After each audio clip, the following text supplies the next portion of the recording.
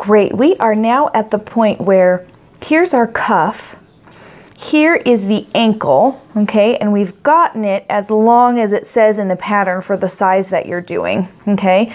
And now you can see here I've started the heel flap. So over here, I had my cuff and I showed you how to change colors to this guy and we actually did one row of knits in this color first so that we could avoid having the purl bumps show and I did the same thing here. So this is the heel flap. Let me just flip this over for you.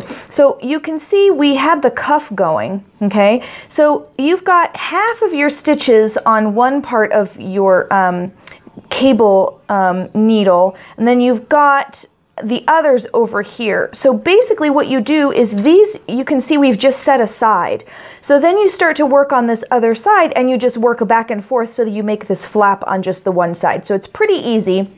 So I've gone ahead and skipped to this step, okay?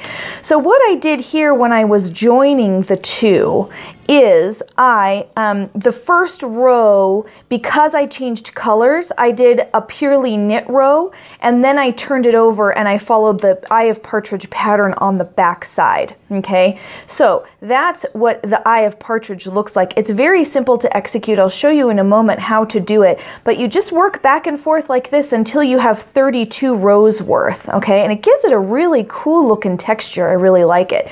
Now, my other sock, I did just a plain um, stockinette heel on. Okay, it makes it maybe a little bit smoother on the heel, um, but you can see it's, it's the same exact thing. So I don't need to demonstrate that basically all you do is you'll do your first knit row and then you purl on the back side. Knit, purl, knit, purl, knit, purl. Now you can see I've already attached this heel flap, but if I try to open it up there, that's what the heel flap looks like on the other sock, okay? So you have a choice. You can either do just the plain stockinette like this one here, or you can do the Eye of Partridge, which gives it a little bit uh, more fun.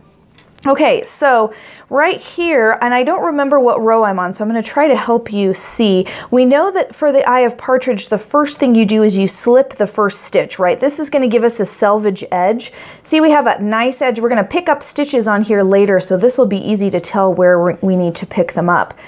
So we're going to slip the first one. Now, I don't remember if I need to knit one or slip one or what, so I'm going to pull down on these stitches. Okay, now see how some of these stitches are a little bit longer than others. So this one right here is longer than its neighbors, and this one's longer here. See that? We slipped those in the previous row, so that means we need to knit them. So I'm going to start with this one right here. This one here is long, so that means I need to knit this one. So that means I need to slip this one and knit this one and slip this one. Okay, so we've slipped the first one. Great. Now I'm going to slip the second one, and now I'm going to knit.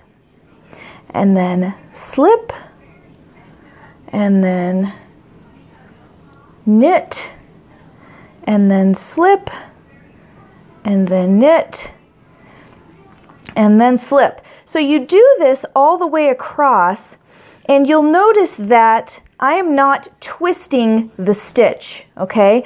I'm not doing a slip one knitwise like this. I'm just slipping it purlwise, okay? Now, the importance of that is when you twist your stitch, it makes your row just a little bit shorter, and we don't want to do that because it'll make your, your heel flap just a little bit shorter.